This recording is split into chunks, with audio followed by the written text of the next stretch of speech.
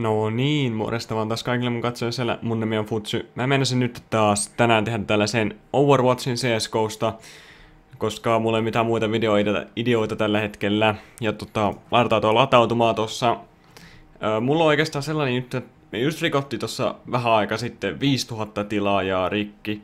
Ja tota, mulla ei ole mitään ideoita, minkälaisia spessuja tai tämän vastaavia jotain spessu mun pitäisi tehdä tai ei mitään. Mä oon tosi huono keksimään kaikkea tällaista ja ja tota, en tiedä sitten, että pitäisikö jotain tällaista tehdä, että et tota, jos teillä on jotain, jotain ehdotuksia, jättäkää sinne kommenttiboksiin, niitä mä katon, jos mä näen sieltä jotain mieluisa, mutta ei, ei mitään ihmeellisiä perusvlogkaajien perushaasteita. Nehän on ihan hemmetin tyylisiä, eikä kukaan nyt sellaista katsoa, vaan tota, en minä tiedä, jo, jotain nyt vai sinne, mutta todennäköisesti kaikki ne, mitä YouTubessa olette nähnyt haasteet nimellä jutut, niin ne ei ole niitä, mitä mä tarkoitan tällä. Ja, ja tota, tota, katsotaan tää case tästä nytten.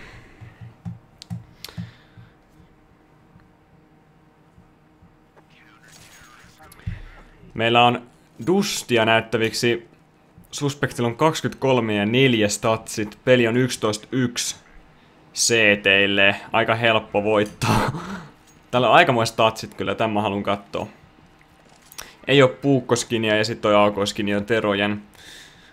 Nolla statseilla nyt ellei tää oo, jos tää on smurfi, jos tää on smurfi, niin, niin tota, sit tää voi olla ihan...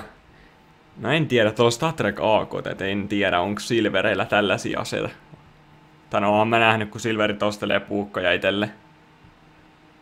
Se se vasta on parasta, kun näkee Silvereillä puukkoja. No mut joo.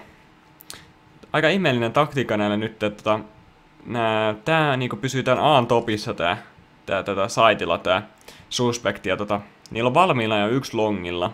Mä en ymmärrä mitä se tässä tekee AF2 tässä vai mitä se tekee, se ei liikuta yhtä hiirtä, paitsi vähän se. Ei se AFK.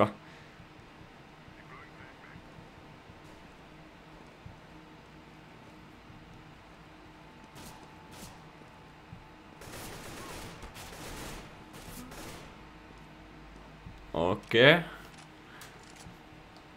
Toi oli aika... Joko ihan hemmetin pullaa tai jotain.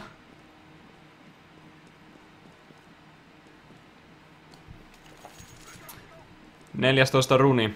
Menee nyt tällä kertaa midi. Uspikäessä. Tunneli.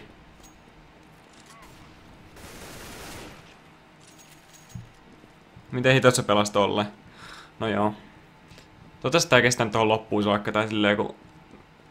On vähän tyhmiä nämä oudosta, kun niin näkyy, että tällaiset ihme statsit, me ei voida nähdä mitä se on tehnyt silloin, silloin tota, pelin alussa.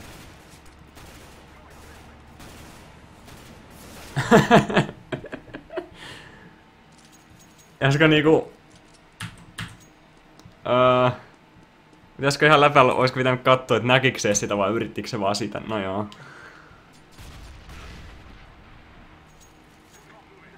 What?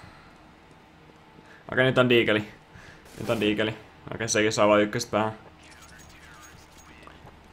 No nyt on Mac 10, Kevlari.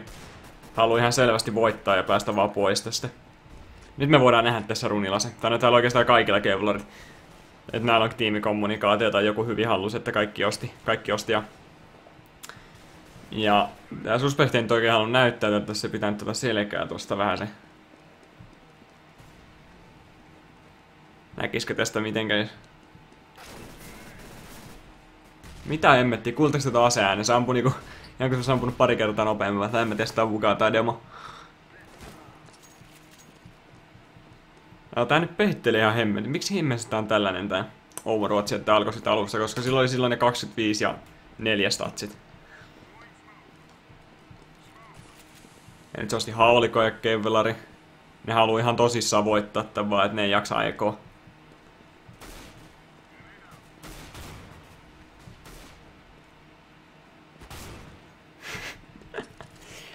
Jos... No nyt sä otit Tech 9.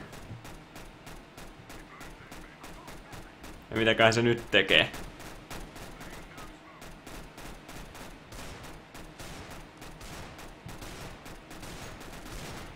Miksi joku smurfi tekis tälle?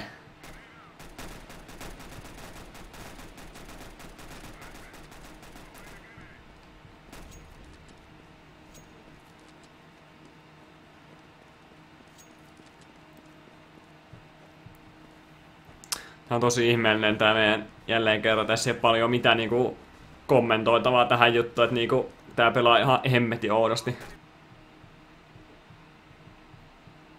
Tästä ei voi sanoa mitään tällä kertaa.